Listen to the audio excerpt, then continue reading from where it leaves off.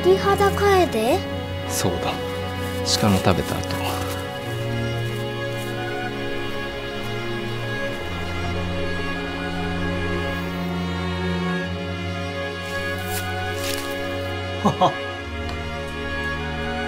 昨日急に来られてさ驚いたよ。水引町原沢にグランピング施設の管理運営をいたします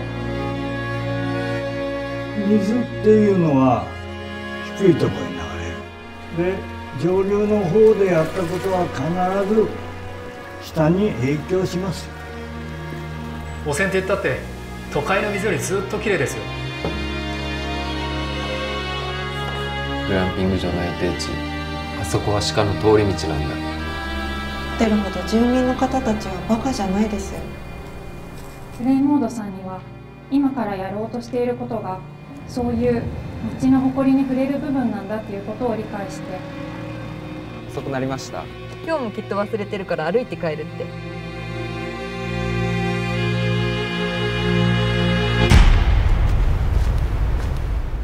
銃声